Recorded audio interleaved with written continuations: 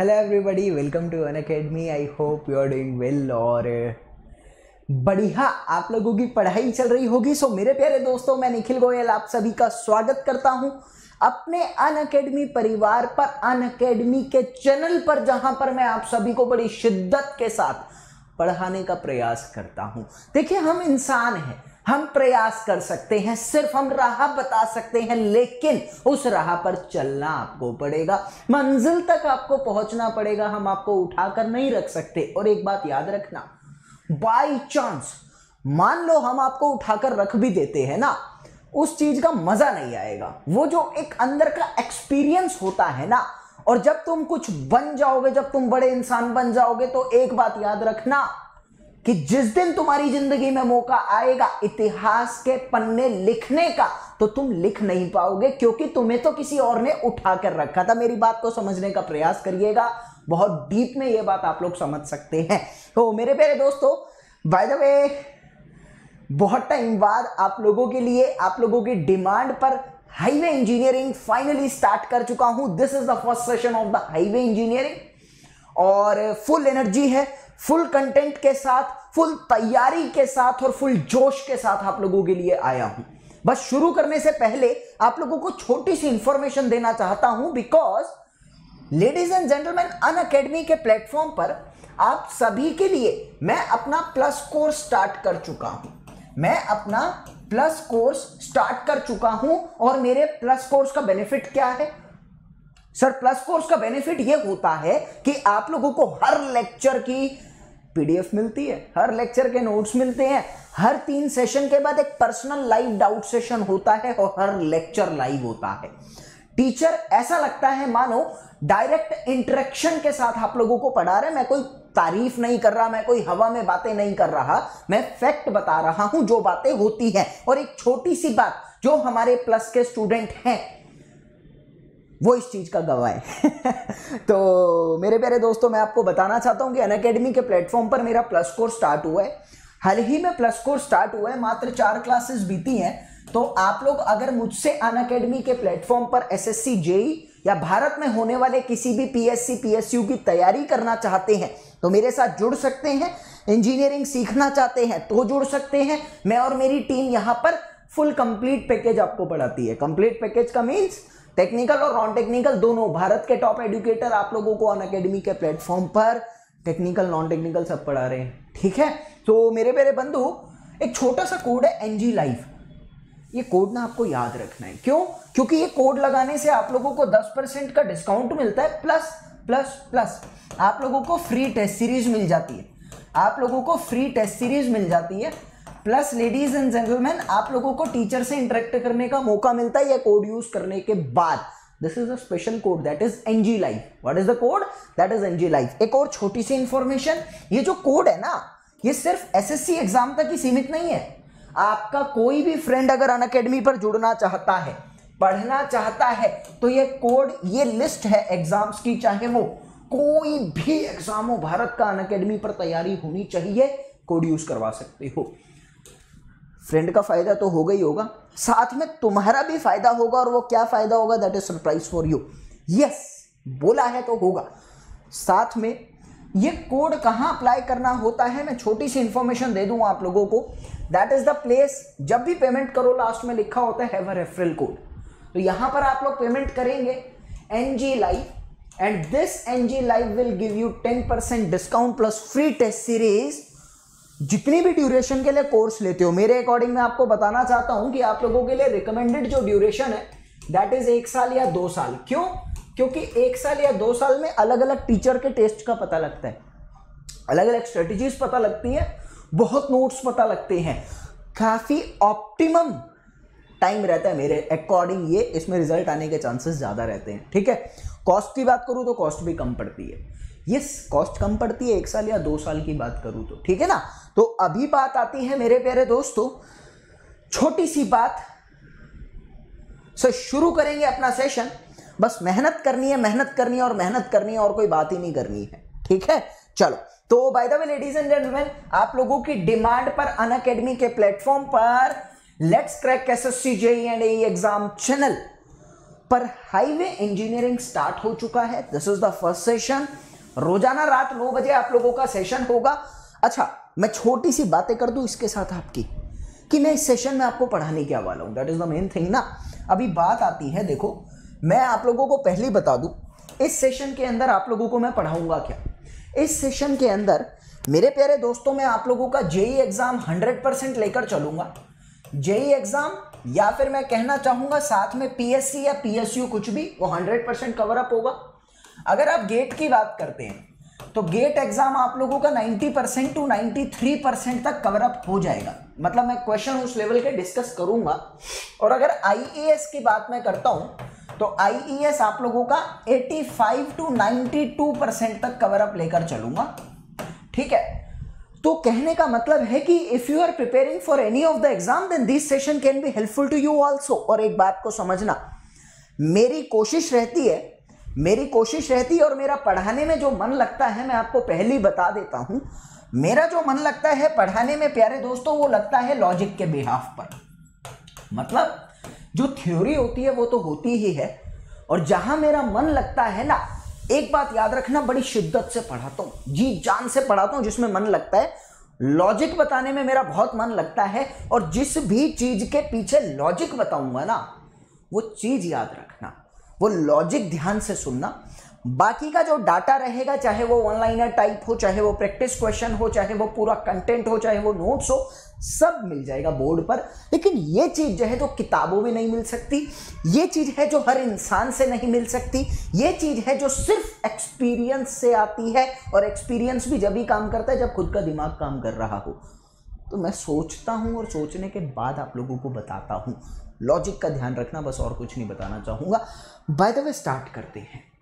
देखिए, जो ये हाईवे इंजीनियरिंग होती है मेरी, ये हाईवे इंजीनियरिंग, प्यारे दोस्तों, फ़िलहाल मैं आपको बताना चाहूँगा, आपके चार हिस्सों में डिवाइडेड है। मतलब हम लोग इस हाईवे इंजीनियरिंग के अंदर क्या क्या पढ़ने वाले हैं। We are going to we are going to study about the four units पहली जो यूनिट आती है मेरी, उसका नाम होता है ज्योमेट्रिक डिज़ाइन क्या नाम होता है? ज्योमेट्रिक डिज़ाइन दूसरी जो मेरी यूनिट आती है, उसका नाम होता है ट्रैफ़िक इंजीनियरिंग तीसरी जो मेरी यूनिट आती है, उसका नाम है pavement materials pavement materials and the fourth unit that is very important ladies and gentleman उसका नाम होता है पेवमेंट डिज़ाइन फोर्थ यूनिट का क्या नाम होता है? फोर्थ यूनिट का मेरा नाम होता है पेवमेंट डिज़ाइन तो अभी एक एक यूनिट के बारे में हल्का हल्का सा पढ़ते हैं, फिर डिटेल में तो पढ़ना ही है, कि जो ज्योमेट्रिक डिज़ाइन होती है that is about the designing of the road मतलब ज्योमेट्रिक का मतलब क्या होता है? उसके डायमेंशन उसकी अलाइनमेंट डायमेंशन और alignment of the road are designed in this unit ठीक है? उसके बाद बात आती है कि आपको पता है आपकी रोड पर ट्रैफ़िक का फ्लो होता है। और ट्रैफ़िक के फ्लो को रेगुलेट करने के लिए दुनिया भर की चीज़ें यूज़ होती हैं। जैसे रेड लाइट हो गया, काफ़ी सारे इंस्ट्रक्शंस के बोर्ड्स लगे होते हैं हमारे। काफ़ी सारे डायरेक्शन के बोर्ड लगे होते हैं। Why are these boards use to because ताकि ट्रैफ़िक का रेगुलेट अच्छे से हो सके ना। ट्रैफ़िक का जो फ्लो है वो अच्छे से रेगुलेट हो सके। तो हम अभी ट्रैफ़िक के बारे में पढ़ रहे हैं। अगली मेरी बात आती है, मैंने भाई रोड को भी डिज़ाइन कर लिया। मैंने अपने ट्रैफ़िक को रेगुलेट करने के लिए चीज़ें भी बना ली।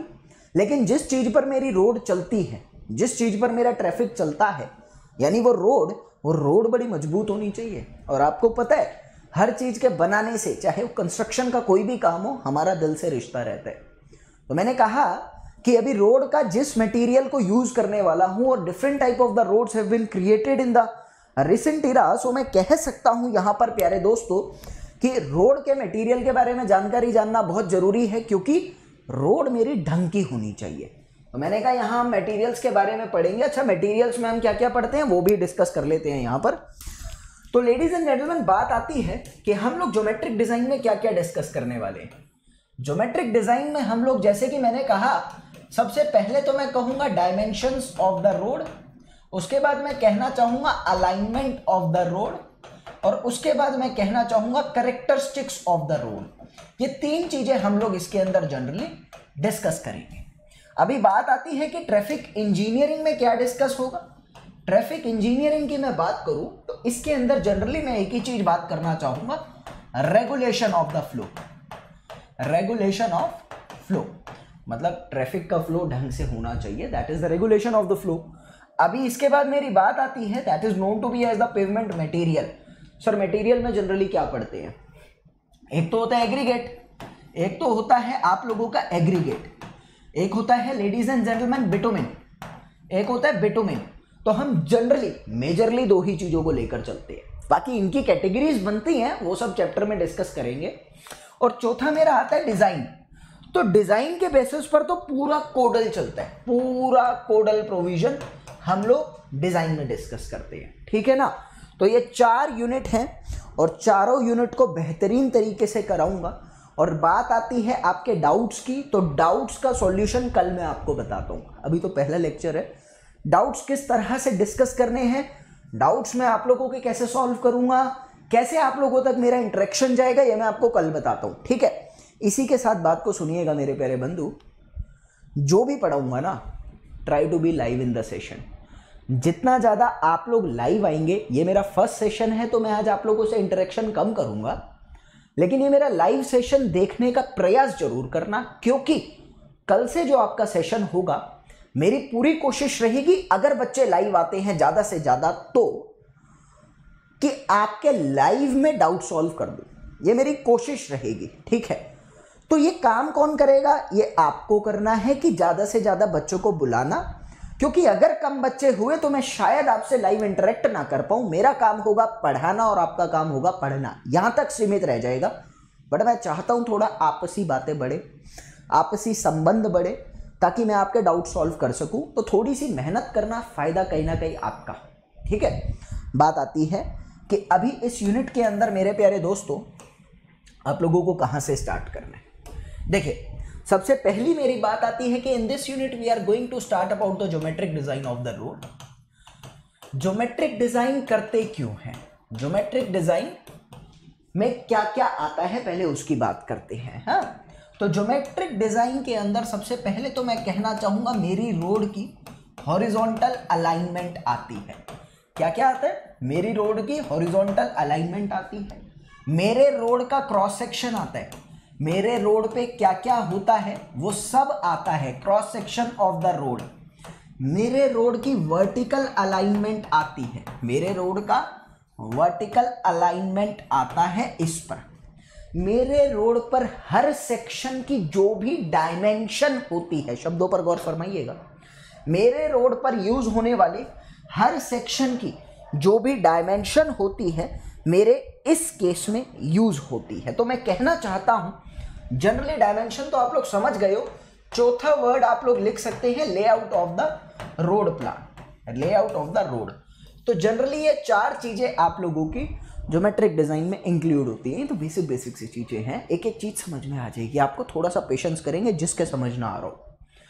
उसके बाद मेरी बात आती है यहाँ पर कि आप लोग ज्योमेट्रिक डिज़ाइन करते क्यों why should you do study about the geometric design of the road sir एक ही रीजन एक ही रीज़न होता है, आप लोग सुपोज करिएगा, जैसे मैंने कहा यहाँ पर कि आप लोगों की एक रोड है, और वो रोड जो है वो कर्व पर, मैंने रेलवे पढ़ाया थोड़े दिन पहले, और रेलवे पढ़ाने के दौरान मैंने एक शब्द यूज़ करा था सुपर एलिवेशन तो मैंने आपको पढ़ाया था जैसे कि कर्व होता है, कोई भी रोड अगर मुड़ती है तो मुड़ने के दौरान मेरे प्यारे दोस्तों, होता क्या है कि रोड अगर मुड़ रही है and this is the outer side this is the inner side तो आप लोग क्या करते हैं, आप लोग आउटर साइड से अपनी रोड को थोड़ा सा उठा देते हैं। ये आप लोगों ने देखा भी होगा जनरल लाइफ में।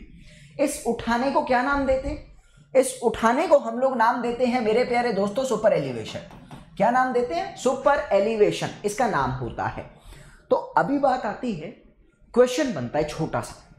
कि मैं सुपर एलिवेशन क्यों देता हूँ? सुपर एलिवेशन मैं इसलिए देता हूँ ताकि मेरी गाड़ी जो है वो आराम से फ्लो में निकल जाए।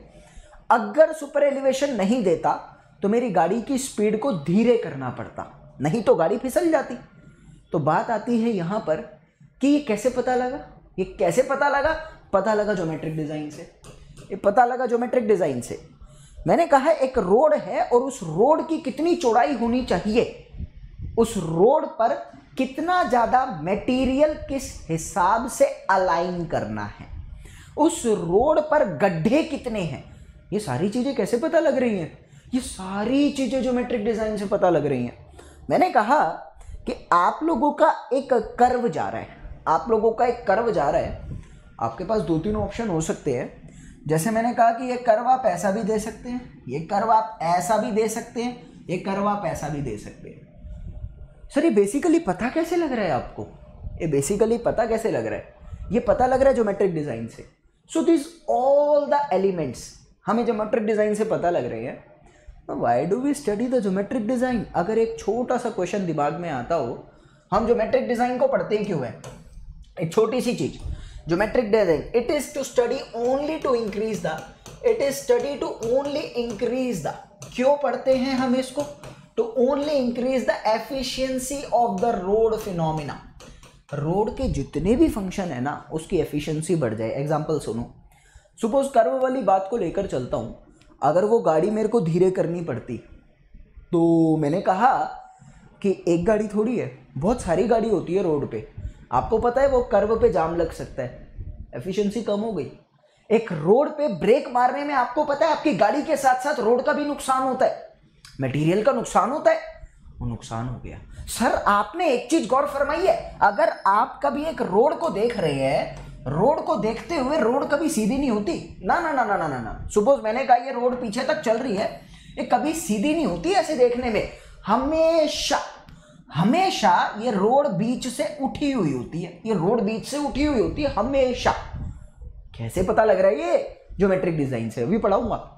बात आती है यहाँ पर कि ये जो रोड है, ये बीच से उठी हुई है क्यों है? ताकि आपका जो पानी है, मैं एक एग्जांपल दे रहा हूँ छोटा सा, एक एग्जांपल दे रहा हूँ। ताकि आपका जो पानी है, वो आसानी से ड्रेन ऑफ़ हो जाए। आपका पानी आसानी से ड्रेन ऑफ़ हो जाए तो आप क्या कह रहे हैं यहाँ पर? कि सर, वो ड्रेनेज प्रॉपर्टी को एनरोल कराने के लिए हम लोग रोड को बीच से उठा रहे हैं। इसको क्या बोला जाता है? बाद की बात है। क्या कर रहा हूँ मैं ये? हर चीज़ में रोड की एफिशिएंसी बढ़ा रहा हूँ। हर चीज़ में रोड की एफिशिएंसी बढ़ा रहा हूँ। तो आपको एक चीज़ तो समझ में आ चुकी है कि रोड की एफिशिएंसी को मैक्सिमम बनाने के लिए ज्योमेट्रिक डिज़ाइन को पढ़ा जाता है। क्या समझ में आ गया मुझे यहाँ पर? रोड की एफिशिएंसी को बढ़ाने के लिए ज्योमेट्रिक डिज़ाइन पढ़ा जाता है और वो एफिशिएंसी कितनी करी जाती है? मैक्सिमम करी जाती है, ठीक है ना? अभी मेरी इसके बाद बात आती है, प्यारे दोस्तों मेजर मेजर पोर्शन आज मैं डिस्कस करने वाला हूँ ताकि आप लोगों का इंटरेस्ट डेवलप हो जाएगा फ्यूचर में। तो मैं यहाँ पर आप लोगों के साथ क्या डिस्कस करूँगा?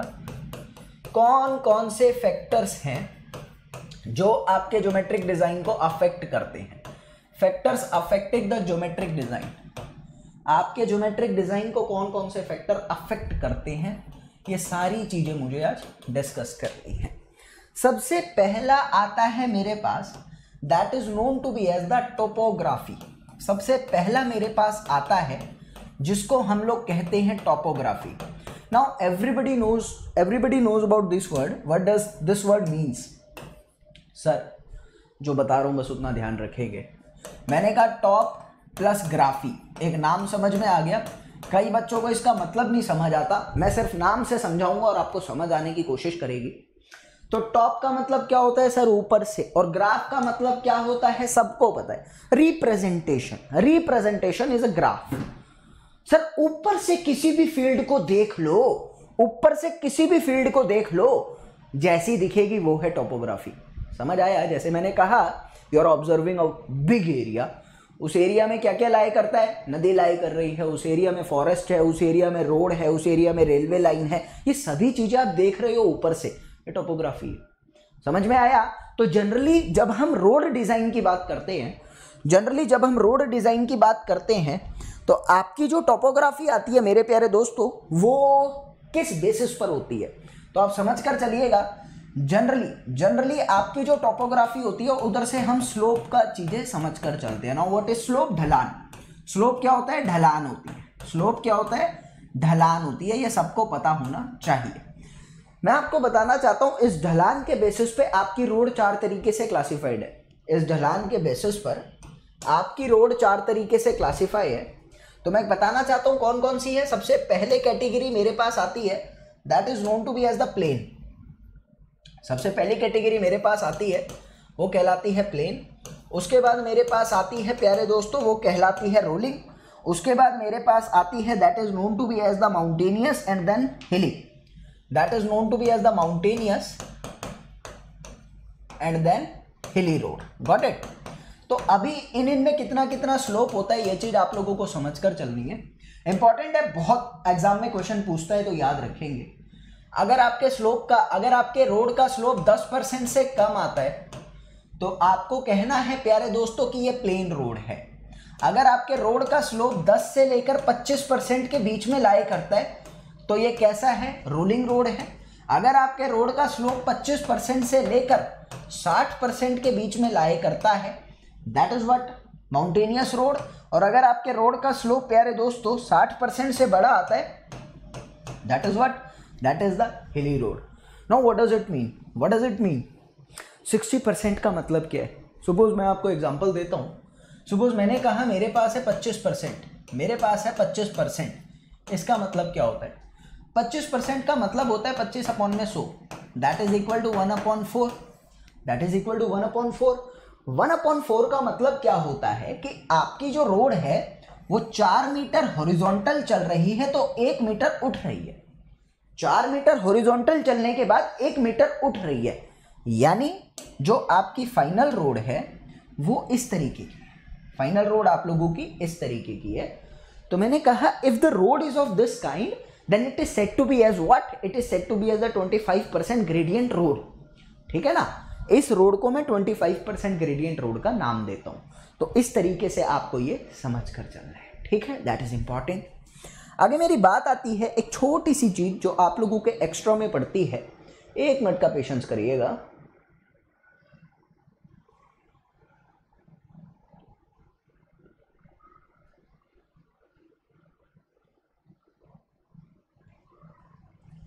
हाँ जी। अभी इसी के साथ में छोटा सा एक्स्ट्रा चीज़ आप लोगों को बताना चाहता हूँ। आजकल क्या है? आजकल सिर्फ़ स्लोप के बेसिस पर क्वेश्चन नहीं आता। एक चीज़ और याद रखना कि रोड को हम लोग कर्वेचर के बेसिस पर भी बताते हैं। मतलब आप लोगों को ये चीज़ ध्यान रखना है कि टेरेन का जो डिस्ट्रीब्यूशन है, ये लिख लो इंपॉर्टेंट पॉइंट बनता है आप लोगों के लिए। एक नया चीज़ है कि टेरेन का डिस्ट्रीब्यूशन जो है terrain distribution terrain distribution is also done on the basis of is also done on basis of, on basis of what? Curvature curvature के बेसिस पर भी हम अपने टेरेन का डिस्ट्रीब्यूशन करते हैं। समझ के चलना। बात आती है whenever I am talking about the plain terrain अगर मैं यहाँ से अपने प्लेन टेरेन की बात करता हूँ तो ये भी दो तरीके के होते हैं। एक होता है आपका लो कर्वेचर एक होता है आपका लो कर्वेचर एक होता है आप लोगों का हाई कर्वेचर तो अभी कर्वेचर की यूनिट क्या है? अभी कर्वेचर की यूनिट क्या है वो चीज़ भी पता होनी चाहिए। तो मैं यहाँ पर लिखना चाहूँगा मेरे प्यारे बंधु इसको मैं रब करना चाहूँगा यहाँ से। चल यहाँ पर मैं लिखना चाहूँगा कर्वेचर और कर्वेचर की यूनिट क्या है आप लोगों की? आ, डिग्री पर किलोमीटर कर्वेचर कितना होगा और उसकी यूनिट कितनी है? डिग्री पर किलोमीटर ये चीज़ आपको ध्यान रखनी है। अच्छा बात आती है कि लो के लिए कितना लाया करता है। लो के लिए वैल्यू कितना होता है? ज़ीरो से पचास के बीच में। अगर प्लेन टेरेन की बात कर रहा हूँ लो कर्वेचर के लिए ये वैल्यू होती है ज़ीरो से पचास। अगर आप हाई कर्वेचर की बात कर रहे हैं प्लेन टेरेन के लिए तो इक्यावन से बड़ी। ये बात आपको याद रखनी है। सिमिलरली प्यारे दोस्तों whenever you are talking about the rolling terrain whenever you are talking about the rolling terrain एक नई चीज़ है, आपके लिए ध्यान रखेंगे। जब मैं रोलिंग टेरेन की बात करता हूँ तो लो कर्वेचर और हाई कर्वेचर एल सी मतलब लो कर्वेचर एच सी मतलब हाई कर्वेचर ये ना नोट से आप लोग बनाते रहिएगा साथ के साथ। इसका कर्वेचर कितना आता है? ज़ीरो से हंड्रेड के बीच। इसका कर्वेचर आता है 101 से बड़ा और जनरली 200 से छोटा। 200 से छोटा, ठीक है? अभी बात आती है यहाँ पर तीसरा कर्वेचर आप लोगों का कौन सा था? माउंटेनियस टेरेन तीसरा कौन सा था आप लोगों का? माउंटेनियस टेरेन तो माउंटेनियस टेरेन के लिए कितना आता है? माउंटेनियस टेरेन के लिए एक होता है लो कर्वेचर एक होता है हाई कर्वेचर तो इसकी कैटेगरी कितनी? मैं कहूँगा 200 200 ज़ीरो से। 200 के बीच ये लाई कर सकता है। और अभी बात आती है यहाँ पर, प्यारे दोस्तों, जब ये 201 से बड़ा होगा तो ये हाई कर्वेचर की कैटेगरी में आएगा। एक नई चीज़ थी आपके लिए। याद रखिएगा, बहुत ज़रूरी बनती है। ठीक है? आप देखना चाहो तो ये आपकी टेबल बन गई है यहाँ पर। That is the table so इसको आप लोग याद करेंगे। एक नई चीज़ है और एग्ज़ाम में पूछी जा सकती है। यूनिट पर गौर फरमाइएगा। चले आगे चलते हैं मेरे प्यारे दोस्तों यहाँ पर। आगे मेरी बात आती है कि टॉपोग्राफी के साथ साथ अब आप लोगों का सेकंड फैक्टर कौन सा आता है? That is the design speed उसको भी गौर फरमाएँगे हम। चले सेकंड फैक्टर मेरा यहाँ पर आता है मेरे प्यारे बंधु डिज़ाइन स्पीड देखो, एक चीज़ समझ कर चलना। मैं आप लोगों को टेबल भी दिखा दूँगा, लेकिन छोटी छोटी सी बातें। There are six type of the road हमारे पास जनरली छः टाइप की रोड होती है। हाँ हमारे पास छः टाइप की रोड होती हैं। तो उन छः टाइप की रोड पर अलग अलग स्पीड होती हैं। जैसे कि मैं आपको कहता हूँ, आपका एक नेशनल हाईवे है और एक आपके घर के आसपास की रोड है that is the village road क्या दोनों में गाड़ियाँ सेम स्पीड से चलती हैं? नहीं नहीं नहीं नहीं नहीं नहीं दोनों को अलग अलग स्पीड से डिज़ाइन करा जाता है और उनकी स्पीड के बेसिस पर ही सारी चीज़ें डिज़ाइन होती हैं। गाड़ी स्पीड से चल रही है, कितनी स्पीड से चल रही है, कितना कर्व देना है, कितना रेडियस होना चाहिए, कितना सुपर एलिवेशन होना चाहिए, कितनी लेंथ होनी चाहिए, कितना डिस्टेंस ट्रेवल करेगा, कहाँ पर क्या देना है, सब कुछ स्पीड पे ही तो डिपेंड करता है। तो मैंने कहा जो मेट्रिक डिज़ाइन स्पीड पे डिपेंड करता है। तो there are six type of the road पहली जो आपकी रोड आती है that is the express way पहली जो आपकी रोड आती है, उसका नाम होता है एक्सप्रेस वे और इसकी स्पीड कितनी होती है? इसकी स्पीड होती है 120 किलोमीटर पर आर के आसपास। ठीक है?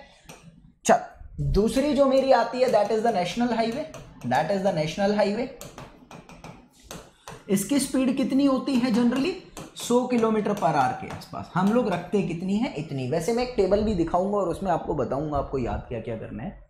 तीसरी रोड मेरे पास आती है, प्यारे दोस्तों that is the state highway that is the state highway चौथी रोड मेरे पास आती है दैट इज़ द एमडीआर क्या बोलते हैं उसको हम? मेजर डिस्ट्रिक्ट रोड चौथी रोड कौन सी आती है? Major district road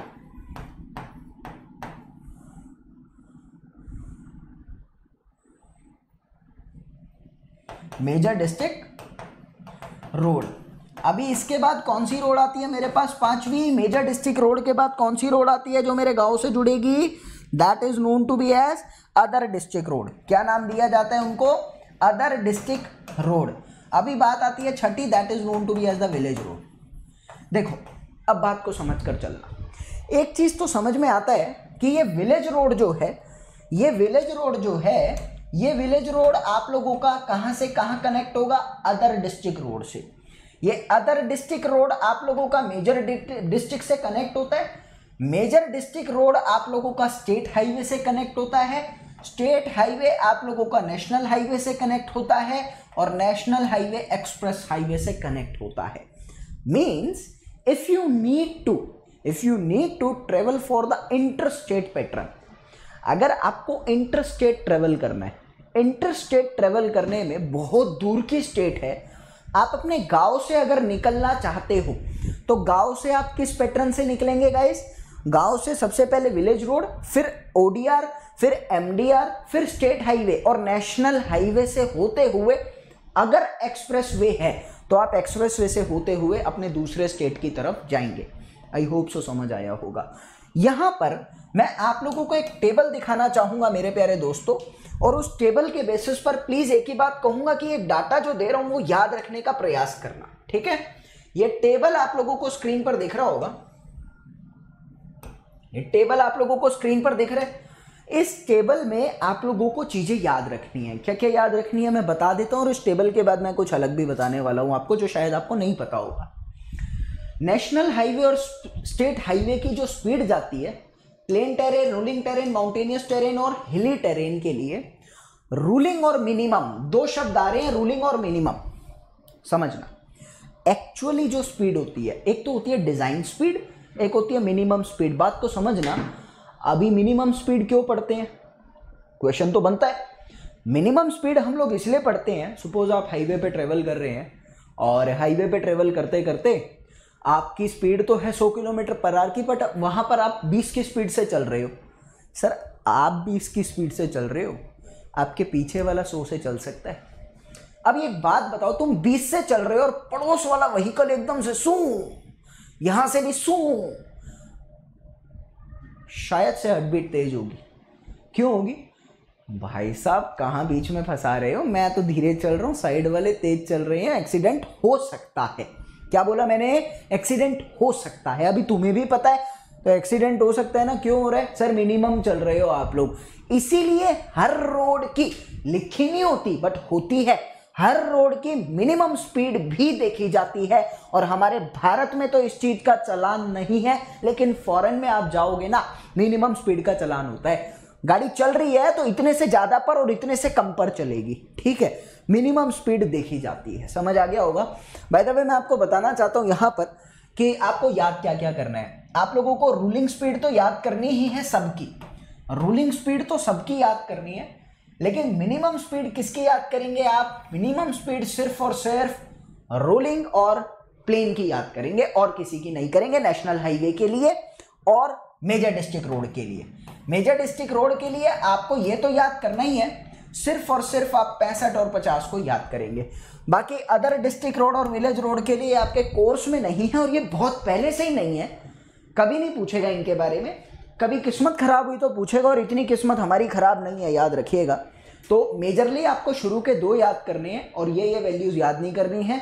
बात आती है यहाँ पर छोटा सा क्वेश्चन दिया आप लोगों के लिए, कि भैया क्वेश्चन क्या बनता था आप लोगों का?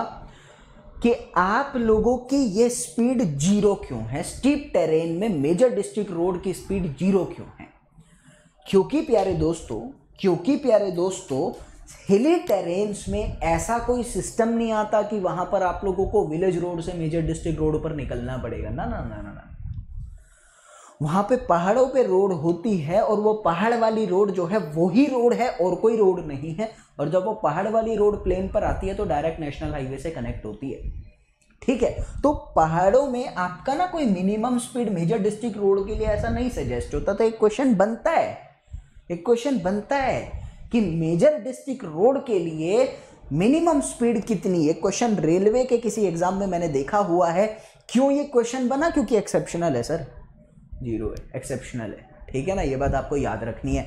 बाय द वे जो भी स्पीड है वो याद रखेंगे। टेबल में मैं कुछ बता नहीं सकता। ये तो आपको याद करना ही है। इसके बाद जो आपको अलग से पता लगेगा वो क्या है, वो लिख लो आप लोग। अब जो पैटर्न बन रहे हैं ना टीसीएस मैं टीसीएस के अकॉर्डिंग नहीं चल रहा सिर्फ़। मैं पीएससी और पीएसयू को लेकर चल रहा हूँ। तो मैं आप लोगों को कुछ एक्स्ट्रा डाटा दूँगा। ठीक है ना? तो अभी जो बता रहा हूँ, वो चीज़ आप लोग याद रखेंगे। अभी मैं आपको बता रहा हूँ अर्बन रोड की स्पीड तो speed of urban roads speed in urban roads आपकी अर्बन रोड्स पर क्या क्या स्पीड आ सकती है? सर अर्बन रोड चार तरीके की होती है। अर्बन रोड चार तरीके की होती है। आर्टीरियल रोड सब आर्टीरियल रोड आज जो भी मैं आपको बता रहा हूँ जो आपको नहीं समझ में आता वो आप गूगल करेंगे। गूगल में भी नहीं समझ में आ रहा तो नई नेक्स्ट लेक्चर कल जो होगा कमेंट करके मुझसे पूछेंगे। आज मैं किसी से इंटरेक्ट नहीं कर रहा कल इंटरेक्ट करूँगा और कल आप लोगों के डाउट भी लूँगा और बात समझ रहे हो ना आप लोग बच्चे बुला लेना बस। ठीक है? सब आर्टीरियल उसके बाद मेरे पास आती है प्यारे दोस्तों यहाँ पर आ, कलेक्टर रोड उसके बाद आती है कलेक्टर रोड और उसके बाद मेरे पास आती है लोकल रोड चार रोड आती है। इनमें स्पीड कितनी कितनी होती है? इनमें स्पीड कितनी कितनी होती है, ये भी आपको याद रखना है। तो स्पीड होती है अस्सी साठ अस्सी साठ पचास और तीस। अस्सी साठ पचास और तीस किलोमीटर पर आर आज से पहले किसी एग्ज़ाम में नहीं पूछा। आज से पहले किसी एग्ज़ाम में नहीं पूछा। लेकिन दो मिनट लग रही है याद करने में तो क्यों दो मिनट की वजह से अगर एग्ज़ाम में आ गए तो क्वेश्चन छोड़े? इसीलिए मैंने बता दिया। आज से पहले नहीं पूछा बट पूछ सकता है। ठीक है? चलो। इसके बाद मेरे पास आती है, प्यारे दोस्तों रोड यूज़र करेक्टरिस्टिक्स इसके बाद मेरे पास आती है road user characteristics now what is the road user characteristics उसको भी समझ कर चलते हैं। तीसरी करेक्टरिस्टिक आती है मेरे पास। That is road user characteristic what is the road user characteristics road user characteristic में दो चीज़ें आती हैं। एक तो होता है आपका वहीकल और एक होता है आपका ड्राइवर दो चीज़ें आती है रोड पर चलने वाली। एक तो वहीकल भी रोड को यूज़ कर रहा है और एक ड्राइवर भी रोड को यूज़ कर रहे हैं। तो वहीकल के बारे में हम बाद में देखेंगे। फ़िलहाल मैं ड्राइवर के बारे में आपसे बताना चाहता हूँ। तो लिख लो, यहाँ पर दो चीज़ें इंक्लूड होती हैं। पहला तो आप लोगों का होता है ड्राइवर और फिर होता है आपका वहीकल तो मैं पहले ड्राइवर के बारे में आपको बता दूँ, फिर मैं आप लोगों को वहीकल के बारे में बताऊँगा। तो बाय द वे ड्राइवर की मैं बात करूँ तो ड्राइवर से आप क्या क्या समझ कर चल रहे हैं यहाँ पर? देखो ड्राइवर की अगर मैं बात करता हूँ तो ड्राइवर से रिलेटेड मेरे दिमाग में आता है ड्राइवर का विजन कैसे ड्राइवर की हेयरिंग पावर कैसी है? क्यों? भाई एक्सीडेंट अगर होता है तो रोड को भी नुकसान होता है तो वो सारी चीज़ें चेक करता है, ठीक है? तीसरी चीज़ आती है कि ड्राइवर का रिएक्शन टाइम कैसा है? तीसरी चीज़ आती है ड्राइवर का रिएक्शन टाइम कैसा है? Now what is the reaction time what is the reaction time मैंने कहा, मैं गाड़ी चला रहा हूँ और एकदम से मेरी गाड़ी के आगे कोई बच्चा आ जाता है। तो उस बच्चे को देख कर मैंने ब्रेक मार देनी है एकदम से और मेरी गाड़ी रुक जाती है। एकदम गाड़ी रुक रही है। तुम्हें एक चीज़ तो पता है, गाड़ी रुकेगी तो रोड को तो नुकसान होगा ना ऑब्वियसली होगा। तो अभी एक चीज़ सोचना, बच्चे को देखने के बाद और ब्रेक मारने से पहले बच्चे को देखने के बाद ब्रेक मारने से पहले जितना भी समय तुमने लिया हो, जितना भी समय तुमने लिया किस काम को करने के लिए? रिएक्ट करने के लिए। रिएक्ट करने के लिए जो समय लिया जाता है that is the reaction time तो मैं क्या बोलने वाला हूँ यहाँ पर? Time to take reaction nothing else इतना समझ में आ रहा है। क्या होता है रिएक्शन टाइम रिएक्ट करने का टोटल टाइम जो ड्राइवर के थ्रू लिया जाता है that is the reaction time तो अभी मेरी बात को समझना यहाँ पर कि जनरली कितना लिया जाता है? तो ये बात भी लिख लो, फिर मैं इसके बारे में कुछ बताऊँगा। जनरली कितना लिया जाता है प्यारे दोस्तों? तीन से चार सेकेंड सॉरी जनरली आप लोगों का ढाई सेकेंड लिया जाता है। जनरली कितना लिया जाता है? ढाई सेकेंड का। लेकिन मैक्सिमम कितना चलता है? मैक्सिमम कितना चलता है? चार सेकेंड का चलता है किन के लिए? जो एजेड पर्सन होते हैं, जो बुढ़े लोग होते हैं, उनके लिए चार सेकेंड का होता है मैक्सिमम। अभी बात आती है मिनिमम कितने का होता है? यंग पर्सन जो होता है, ये सबको पता है मैक्सिमम कितना। मिनिमम का कई डाटा नहीं पता होता तो वो भी लिख लो। मिनिमम कितने होता है आपका? 0.5 सेकेंड। क्या 0.5 सेकेंड से कम हो सकता है? हाँ भाई, दुनिया में इम्पॉसिबल कुछ नहीं है। लेकिन according to design data point पाँच सेकेंड से कम नहीं लेकर चलते। प्रैक्टिकली पॉसिबल है थ्योरिटिकली नहीं नहीं लेकर चलते। डिज़ाइन इसके अकॉर्डिंग ही मिनिमम मिनिमम इतना लेकर चलते हैं। अभी एक छोटी सी चीज़। रिएक्शन टाइम को मद्देनज़र रखते हुए एक छोटी सी चीज़ आपको क्लियर करवाना चाहता हूँ। रिएक्शन टाइम को मद्देनजर रखते हुए आप लोगों का रिएक्शन टाइम किस पे डिपेंड करता है? तो लिख लो। Reaction time depends on reaction time depends on depends on PIEV theory किस पे डिपेंड करता है? PIEV theory now what is the PIEV theory what is the PIEV theory have a concentration here P का मतलब होता है perception P का मतलब होता है परसेप्शन उसके बाद आता है आई आई का मतलब होता है इंटलेक्शन आई का मतलब होता है इंटलेक्शन ई e का मतलब आपका होता है इमोशन और वी का मतलब आपका होता है वॉयलेशन या वॉयलेंस एक ही बात है. ठीक है? अब बात को समझना क्या बोल रहा हूँ? परसेप्शन क्या होता है? सपोज़ मैंने आपको कहा कि दिस इज़ योर ब्रेन ये क्या है? ये आप लोगों का ब्रेन है। यहाँ पर ये गाड़ी का एक बंदा आया और this is your car this is your car और एकदम से ये गाड़ी का ऑब्जेक्ट था। तो इस ऑब्जेक्ट को देखकर, इस, ये क्या है? ऑब्जेक्ट है। और इस ऑब्जेक्ट को देखकर ये है आपकी कार इस ऑब्जेक्ट को देखकर आपके दिमाग में एक मैसेज जाएगा। तो वो जो मैसेज जा रहे हैं ना आपके दिमाग में जो मैसेज जा रहा है, जाने को बोलते हैं, मैसेज जाना, सिर्फ़ मैसेज जाना, उतने में जो टाइम लगता है that is known to be as the perception यानी परसीव करा, क्या देखा तुमने वो मैसेज आपके दिमाग तक गया? दैट इज़ द परसेप्शन आपके दिमाग के अंदर उस मैसेज को लेकर आइडियाज़ डेवलप होंगे। बच्चों को ना मीनिंग समझ नहीं आते इन चीज़ों के। मैं क्या बोलने वाला हूँ? मैं क्या बोलने वाला हूँ वहाँ पर? मैं जो बोलूँगा, बस उतना याद रखना हो जाएगा। ठीक है? पी का मतलब ट्रिक की बात करूँगा मेरी ट्रिक कैसी? निखिल सर की ट्रिक वाहियात। निखिल सर की ट्रिक जो हवा में उड़ती है, लेकिन काम आ जाती है। तो मुझे तो वही चाहिए जो काम आ जाए। तो याद रखना, मैं कोई तारीफें नहीं कर रहा बट इतना याद रखना। बाय द वे मैंने कहा परसेप्शन इंटेलेक्शन का मतलब होता है आपके दिमाग के अंदर अब उस चीज़ को देखकर क्या क्या हो रहा है। जो भी हरकत आपके दिमाग के अंदर हो रही है, उस चीज़ के लिए जो भी आप करना चाहते हो कुछ तो होगा ना, मैं क्या कर रहा हूँ? सोचना थिंक अबाउट दैट क्या बोला मैंने यहाँ पर? I am saying one thing that is the think about that thinking skill thinking skill अब थिंक करने के बाद ना, तुम्हारे एकदम से प्यारे दोस्तों, जैसे पसीने छूट जाते हैं, कई लोग घबरा जाते हैं, कई लोग एकदम से अपना फेस चेंज कर ओ कई लोग नॉर्मल ब्रेक मार दी, कोई बात नहीं। कई लोग एकदम देखते घबरा जाते हैं। क्या हो रहा है? एक्शन नहीं कर रहे तुम कुछ। तुम अपनी बॉडी के साथ एक्शन ले रहे हो। तो तुम्हारी बॉडी में जो भी चीज़ आ रही है ना, तुम्हारी बॉडी पर जो तुम्हारे सोचे हुई चीज़ का रिएक्शन हो रहा है। थिंकिंग के बाद, मैंने क्या बोला? रिएक्शन ऑन बॉडी क्या बोला मैंने यहाँ पर? Reaction on body that is emotion that is emotion और उसके बाद जो आप एक्शन लेते हो ना, जो आप एक्शन लेते हो that is the violence that is the violence violation कह लो वॉयलेंस कह लो एक्शन लेना ब्रेक मारना। हाँ? चार चीज़ें आई। अब समझना। आपके ब्रेन के अंदर होता है इंटेलेक्शन और इमोशन और आपके जो टाइम ले रहे हो, एकदम से ब्रेक मार रहे हो that is known to be as the violation इतना समझ में आ चुका है। अब एक और चीज़ आती है। सर ट्रिक तो बता दो, याद कैसे करूँ? सुनो ना, बढ़िया ट्रिक बता रहा हूँ तुम्हें। अच्छा इसके एग्ज़ाम्पल लिखवाऊँ क्या कुछ? ये इमोशन में क्या क्या होता है? इमोशन में होता है जैसे कि तुम एकदम से घबरा रहे हो, तुम्हें गुस्सा आ रहा है, तुम हंस रहे हो, तुम नॉर्मल हो, ये सब इमोशन है। ठीक है? पी का मतलब पी का मतलब परसीव करना। पी का मतलब पहुँचना। क्या बोला मैंने? पहुँचना। पी का मतलब पहुँचना। अभी कहाँ पहुँच रहा है? दिमाग में पहुँच रहा है। तो पी से प और पी से पहुँचना। पी इतना समझ में आ चुका है। तुम्हें क्लियर है।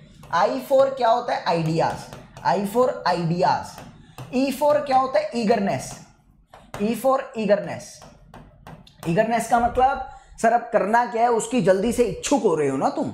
तुम जल्दी जल्दी से ईगरनेस का मतलब जल्दी से उसकी चीज़ की तरफ़ जाने की सोच रहे हो। खत्म। और वी फॉर वॉयलेंस ये सब ठीक है। ठीक है ना? वी का कोई वो नहीं है। तो ये चीज़ आपको क्लियर करनी है। अब मेरी बात आती है यहाँ से कि इससे रिलेटेड डाटा मैं आप लोगों को दे चुका हूँ अब छोटी सी बात आती है कि वहीकल पर कैसे डिपेंड करता है। आपका जो ये थ्योरी है ये आपके वहीकल पर कैसे डिपेंड करता है, वो चीज़ अब डिस्कस करते हैं। चले तो दूसरी मेरी करेक्टरिस्टिक्स थी that is known to be as vehicle that is known to be as vehicle I want to say only one sentence about this vehicle की जो भी डायमेंशन होती है वहीकल की जो भी डायमेंशन होती है, उस पर डिपेंड करता है। जैसे कि मैं बताता हूँ वहीकल की लेंथ वहीकल की हाइट वहीकल की width that is all about the vehicle dimension vehicle के वेट पर भी डिपेंड करता है। ऑब्वियसली यार, एक बात बताओ ना, कोई ट्रक है लंबा, कोई ट्रक है छोटा, कोई डबल डेकर कोई सिंगल डेकर किसी का वज़न ज़्यादा, किसी का वज़न कम, ये सारा रोड पर ही तो चल रहा है। तो रोड पर चल रहे तो रोड की करेक्टरिस्टिक्स को वेरी करेगा। तो रोड करेक्टरिस्टिक्स में दो चीज़ें आती हैं वहीकल और ड्राइवर तो तुम्हें मैं एक आधी चीज़ लिखवा देता हूँ, वैसे इसके बारे में मैं तुम्हें सेकेंड यूनिट में पढ़ाऊँगा, यही लिख लो। रिवाइज इन सेकेंड यूनिट ऐसा लिख लो। इसके बारे में दूसरी यूनिट में मैं तुम्हें पढ़ाऊँगा। ठीक है ना? रिवाइज इन सेकेंड यूनिट चलो क्लियर है? अब मेरी बात आती है इसके बाद मेरे प्यारे बंधु, कि और किस किस चीज़ पर डिपेंड करता है आपका ये? और किस चीज़ के ऊपर डिपेंड करता है? दैट इज़ अगली मेरी चीज़ आती है that is known to be as volume volume पर भी डिपेंड करता है, जैसे कि मैं आपको बताता हूँ, चौथी चीज़ मेरी आती है volume volume of the traffic भाई, आपकी जो रोड है, ये ज़ाहिर सी बात है कि आपकी जो रोड है वो किसके लिए डिज़ाइन करी जाएगी? जैसे मैं एग्जांपल देता हूँ यहाँ पर कि सपोज़ आपकी रोड पर एक टाइम पर बहुत ज़्यादा ट्रैफ़िक चल रहा है और एक टाइम पर कम चल रहा है तो तुम रोड किसके लिए डिज़ाइन करोगे? ऑब्वियसली ज़्यादा ट्रैफ़िक के लिए करोगे। तो तुम्हें यह पता होना चाहिए कि तुम्हारी रोड पर कितना ट्रैफ़िक चलता है, तुम उसी के अकॉर्डिंग डिज़ाइन करते हो अपनी रोड को। तो इसमें तो मेरी ख्याल में कुछ समझने का ऐसा है नहीं।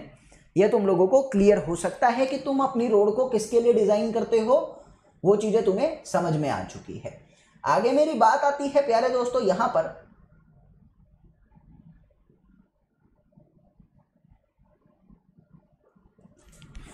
ये ये फैक्टर आपके टोटल डिज़ाइनिंग पे डिपेंड करते हैं तो हम लोगों ने दीज फैक्टर्स जो भी अपने पढ़े हैं, वो चीज़ आपको ध्यान रखनी है। इसके बाद मेरी रोड से रिलेटेड मेरे पास आता है that is known to be as the cross section element of the road अब इसको समझते हैं मेजर थिंग है। Cross section element of the road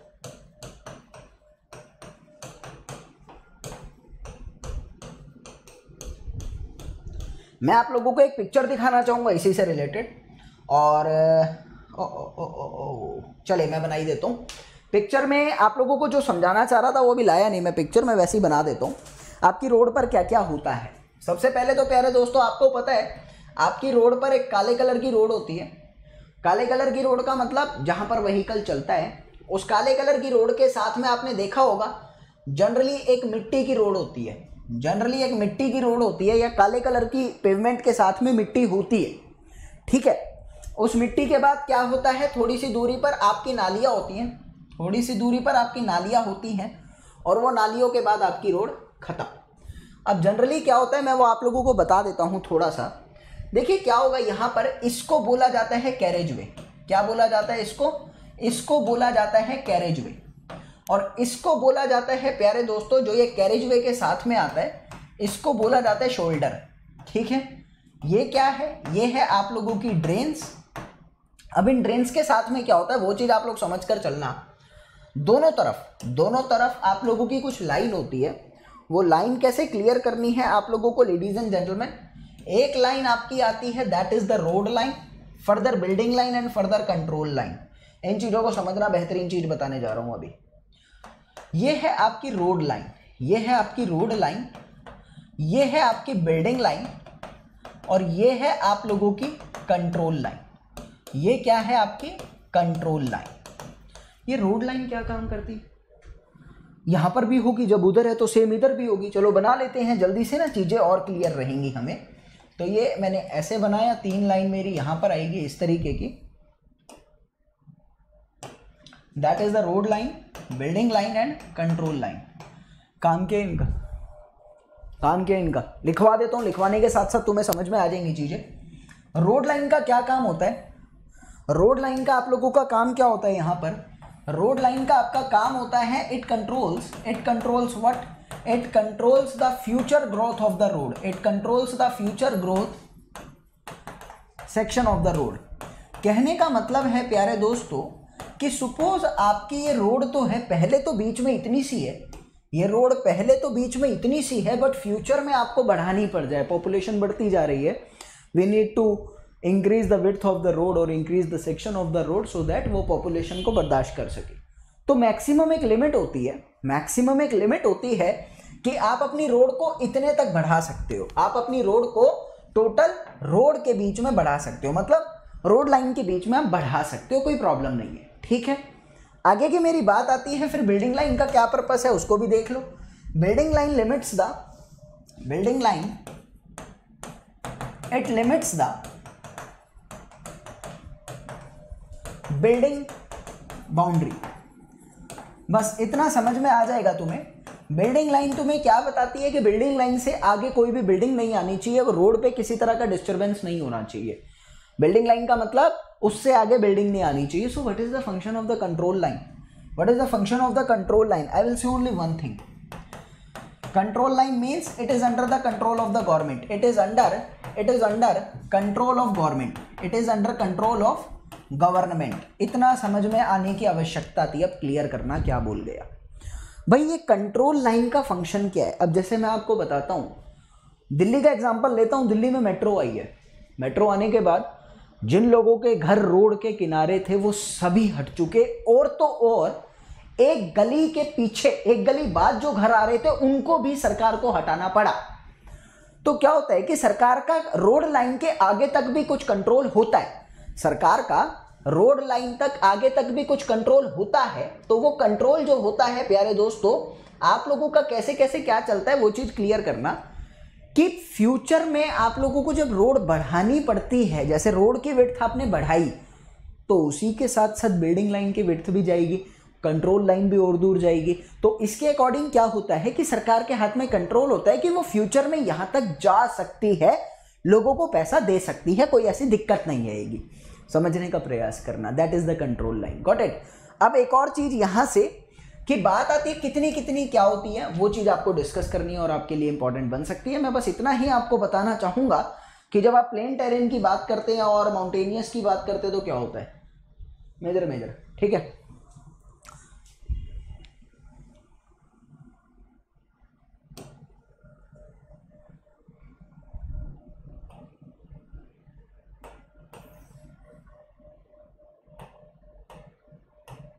चलो। अभी इसके साथ मैं आप लोगों को एक और चीज़ बताना चाहता हूँ, प्यारे दोस्तों, कि यहाँ पर ये जो रोड लाइन से अंदर तक का डिस्टेंस होता है road line to road line तक का डिस्टेंस होता है, इसको बोला जाता है रोड लैंड बाउंड्री क्या बोला जाता है? Road land boundary road land boundary और यहाँ पर मेरी बात आती है, प्यारे दोस्तों, कि आप लोगों का टोटल टोटल जो इधर तक का डिस्टेंस होता है, ये, इसको क्या नाम दिया जाता है? जो ये डिस्टेंस है आप लोगों का, इसको क्या नाम दिया जाता है? इसको नाम दिया जाता है यहाँ पर boundary control line boundary control line ये चीज़ आप लोगों को याद रखनी है। अभी इसके बाद एक और बात आती है यहाँ पर कि आप लोगों की मेजर थिंग अब मैं आपको डायग्राम दिखाता हूँ। ये ये तो समझ में आ चुका होगा, जो भी मैंने बताया। अब प्रॉपर डायग्राम में देखते हैं तो और चीज़ें क्लियर होंगी। ओहो, चले। डायग्राम में देखते हैं तो और चीज़ें आप लोगों को क्लियर हो जाएँगी यहाँ से। क्या हो गया इसमें?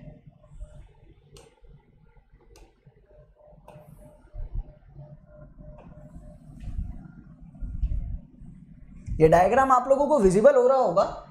अब इस डायग्राम के अंदर आप लोग देख सकते हैं लेडीज़ एंड जेंटलमैन कि आप लोगों का क्या क्या कौन सा फ़ंक्शन है। आप लोग देखेंगे that is the carriageway that is the carriageway यहाँ पर आप देखेंगे रोडवे कितना होता है। रोडवे में एक चीज़, अभी मैं लिखवाऊँगा इस चीज़ को आपको। उसके बाद मेरी बात आती है, प्यारे दोस्तों राइट ऑफ़ वे क्या होता है वो मैंने बताया नहीं है, अभी बताऊँगा अभी बताऊँगा।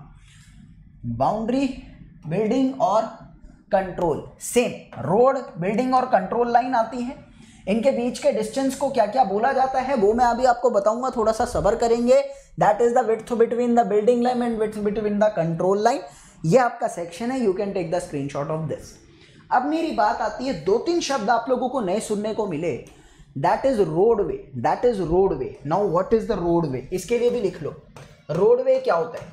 रोड वे के लिए मैं आपको लिखना चाहूँगा that is the carriageway that is the carriageway plus two shoulder that is the carriageway plus two shoulder अभी शोल्डर समझ में आ रहा है ना?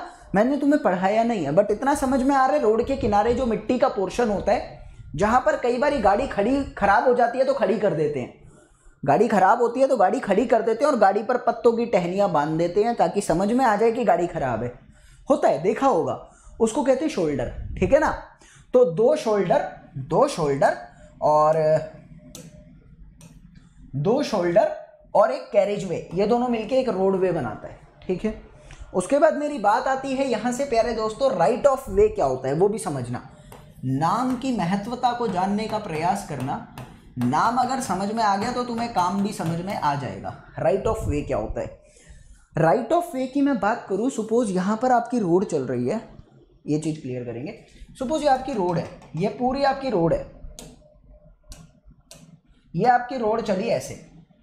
अभी आपको पता है, इस रोड के किनारे किनारे प्यारे दोस्तों, आप लोगों की ये है बिल्डिंग लाइन आप लोगों की ये है इस तरफ़ रोड लाइन ये क्या है आपकी that is the road line इसको मैंने क्या बोला? यहाँ पर that is the road line and that is the proper road that is the road तो जितनी भी आपकी ये लेंथ आ रही है ना, जितनी भी आपकी ये लेंथ चल रही है, मेरी बात को समझने का प्रयास करना, एक रोड लाइन से एक रोड लाइन तक और ये पूरी की पूरी लेंथ के अलोंग ये पूरी की पूरी लेंथ के अलोंग आपका पूरा राइट है कि आप अपना रास्ता बना सकते हैं। दोबारा सुनो मेरे शब्दों को।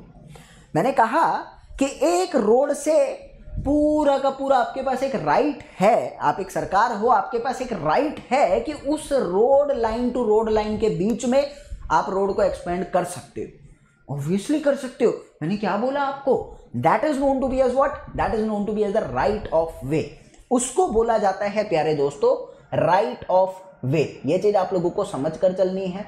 बहुत ज़्यादा ज़रूरी आती है। अब इसके बाद मेरी बात आती है यहाँ पर, प्यारे दोस्त राइट ऑफ़ वे समझ में आ चुका है कि रोड लाइन से रोड लाइन के बीच का जो डिस्टेंस होता है, मेरे पास पूरा राइट right है रास्ता बनाने का that is right of way अब एक और चीज़। जितना भी पढ़ा है, ये जितना भी आप लोगों ने पढ़ा है मेरे प्यारे दोस्तों, मेरी ख्याल में तो एक बार ही रिवाइज कर लेना चाहिए आप लोगों को, ताकि रिवाइज होने के बाद चीज़ें क्लियर हो जाएँगी। ठीक है? एक बार ही रिवाइज कर लो। फिर इसके बाद आप लोगों का क्रॉस सेक्शन एलिमेंट के बहुत सारी चीज़ें जो आपको पढ़नी और बहुत अच्छी लगेंगी आपको, और मेजर मेजर चीज़ें हैं। मैं लिख कर ही पढ़ाऊँगा। क्यों लिख कर पढ़ाऊँगा? रीज़न पता लगेगा अभी आप लोगों को। सो मूवी चलाता हूँ। जितना भी शुरू से पढ़ा, एक बार रिवाइज कर लेते हैं, ताकि आप लोगों को चीज़ें क्लियर रहेंगी, और लास्ट में जब हम पढ़ी हुई चीज़ों को देखते हैं तो शायद दिमाग में और ज़्यादा घुसती है। तो शायद को ज़रा पॉसिबिलिटी की तरफ़ कन्वर्ट करते हुए वीडियो चलाएँगे। चलिए।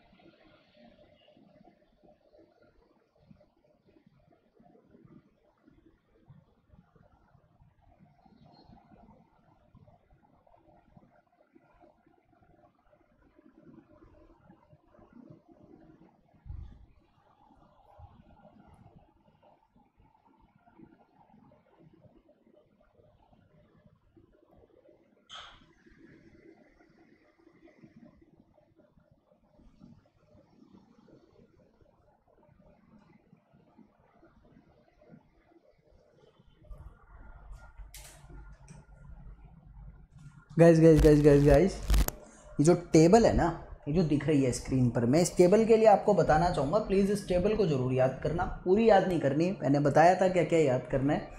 इस टेबल से बहुत बारी आपको एग्ज़ाम में क्वेश्चन देखने को मिलेगा, ठीक है? चलो, अभी आगे देखते रहो इसी को पूरा।